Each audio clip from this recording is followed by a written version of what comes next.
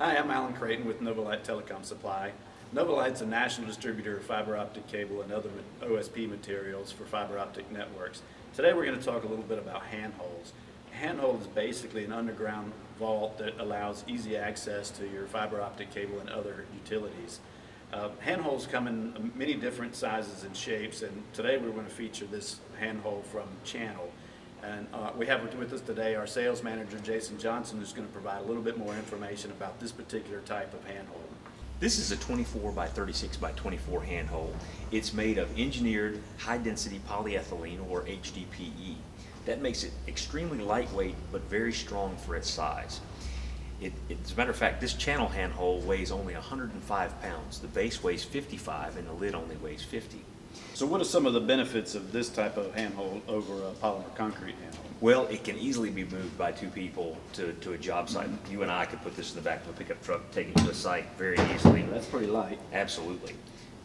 But it, so is it just as strong as a polymer concrete handhole then? Yes, as a matter of fact, this, this box is a tier 22 rated box, and you, with some modifications, you can actually get it rated for H20. Wow. So what are some of the other uh, benefits of this ha- particular handhole? Well, it's, it's safer on the job site, it's easier to install, you know, we can, two people can set it in place. You have a custom logo puck that you can order with, with your company logo on it. It- You can install a, a EMS marker, and it has a patented anti-slip um, design on the lid. So what does that EMS marker do for you? So EMS markers allow uh, locators to identify that this is a telecommunications box. And if the box is, the vault is buried, which often happens with landscaping, then it's, it, it, not just your fiber is located, but the actual vault itself is easily located. Many times if that, that's not in place, it can cause a real okay. problem. So one of, one of the other features that I really like about this handhole is inside it has, uh, the, the racks are already built into this handhole so that if you want to add uh, hooks or a class or anything to hold your um, splice case or fiber optic cable off the ground, then it's already built into this handhole.